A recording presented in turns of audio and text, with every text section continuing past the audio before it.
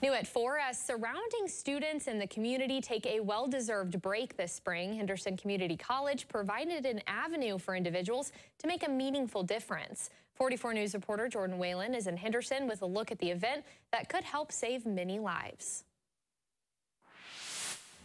Henderson Community College and the Red Cross geared up for a good cause, offering individuals an opportunity to give the gift of life with a blood drive this morning. When someone is in desperate need for blood, it is, like you said, a dire situation. And just seeing that color come back into them and seeing that they have a fighting shot after they've received that. This morning's blood drive was open to students, staff, and members of the general public, emphasizing inclusivity and community engagement. With the academic workload momentarily lifted for a lot of surrounding students during spring break, the timing of the blood drive offers them a chance to contribute to the needs of others while still enjoying the break. For staff and members of the community, it was an opportunity to demonstrate support for a cause that impacts countless lives. The need for blood is constant, and only volunteer donors can fulfill that need for patients in our community. Nationwide, someone needs a unit of blood every two to three seconds, and most of us will need blood in our lifetime. I'm not sure that there is an understanding of how great the need is right now for blood donations. Um,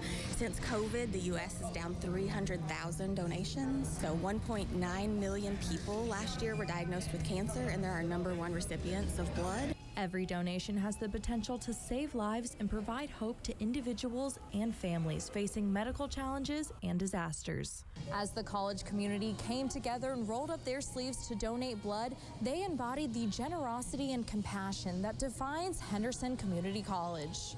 Reporting in Henderson, Jordan Whalen, 44 News.